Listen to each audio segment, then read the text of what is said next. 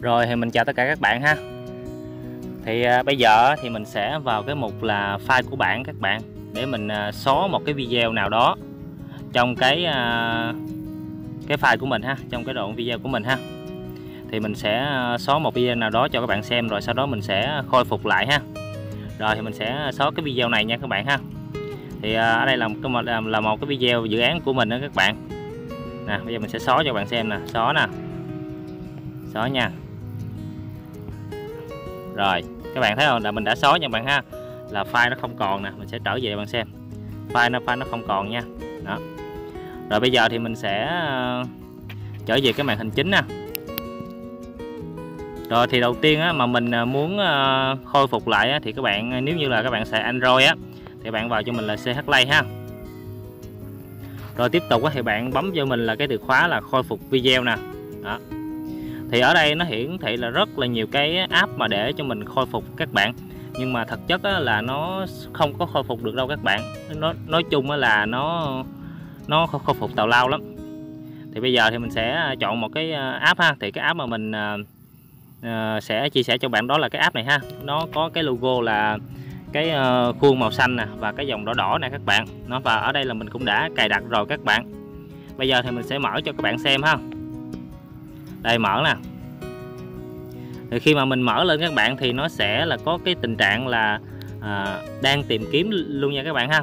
Nó nó nó nó nó hiển thị như thế như như như, như thế này nè. Đó thì bây giờ thì nó khôi phục nè. Nó đang khôi phục các bạn.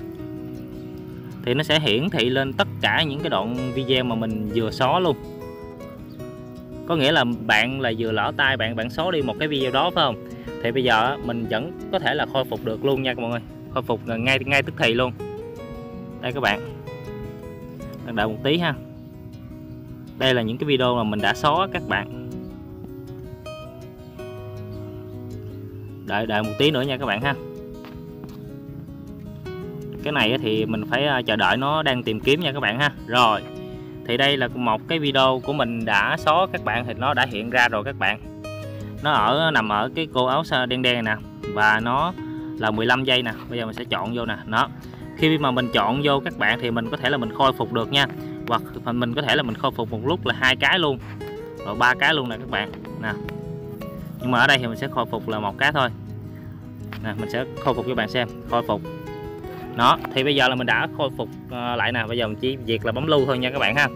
Và các bạn là phải nhớ ờ, xem hết video của mình nha. Chứ bạn đừng có tua. Các bạn tua là các bạn làm không có được đâu tại vì nếu mà bạn tua là bạn sẽ không có khôi phục được á. Rồi bây giờ là mình sẽ à, trở về cái màn hình chính cho cho các bạn xem nè. Bây giờ mình sẽ trở về là cái, cái file của bạn tiếp tục nè. Đó.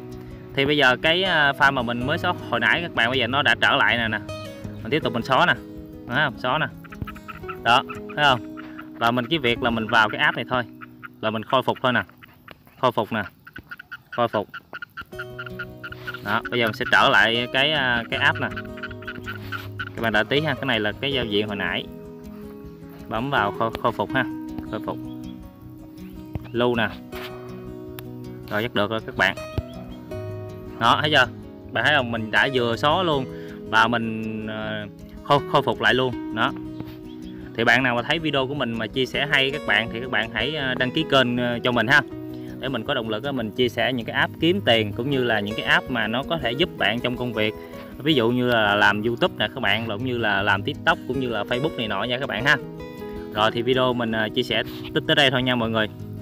Rồi mình xin được à, mến chào và hẹn gặp lại các bạn à, trong video kế tiếp của mình ha.